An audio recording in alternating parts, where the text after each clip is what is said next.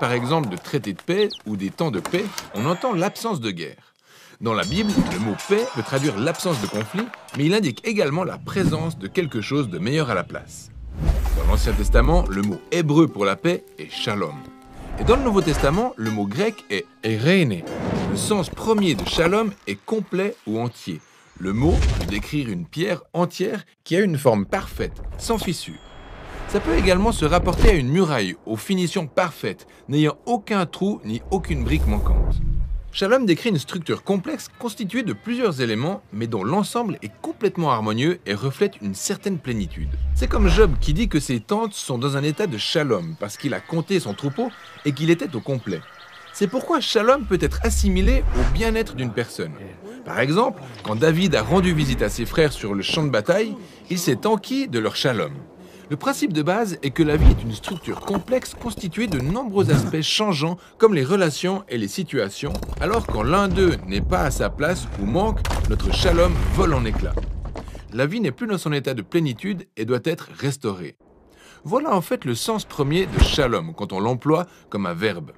Au sens littéral, apporter le shalom veut dire combler ou restaurer. Alors, Salomon apporte le shalom au temple inachevé quand il le termine.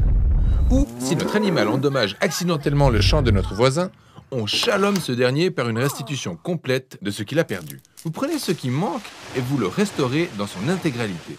Il en est de même des relations humaines. Dans le livre des Proverbes, restaurer et guérir une relation brisée, c'est apporter le shalom.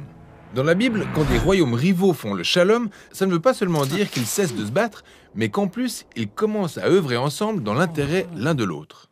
Cet état de shalom est ce que les rois d'Israël étaient censés cultiver, mais ça s'est rarement produit.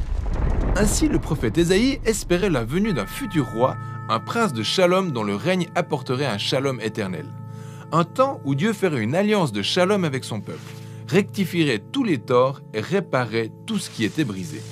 C'est pourquoi la naissance de Jésus dans le Nouveau Testament a été annoncée comme l'arrivée des reines. Rappelez-vous, c'est le mot grec pour paix. Jésus est venu offrir sa paix aux hommes. Il a d'ailleurs dit à ses disciples, Je vous donne ma paix. Les apôtres ont affirmé qu'à travers sa mort et sa résurrection, Jésus avait rétabli la paix entre Dieu et les hommes dénaturés. Car il a totalement rétabli la relation brisée entre les hommes et leur Créateur.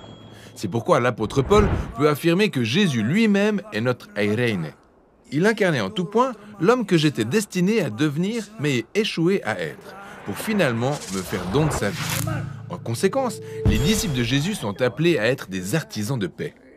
Paul a demandé aux églises locales de préserver leur unité par le lien de la paix qui requiert l'humilité, la patience et la capacité à supporter les autres dans l'amour. Devenir un artisan de paix, c'est participer à la vie de Jésus, qui a tout réconcilié sur la terre et dans les cieux, ayant rétabli la paix par sa mort et sa résurrection. La paix requiert de ce fait un travail de longue haleine, car ce n'est pas simplement l'absence de conflit, la véritable paix consiste à prendre ce qui est brisé pour le restaurer dans son entièreté, soit dans nos vies, dans nos relations ou dans notre monde. Et c'est ça le sens du riche concept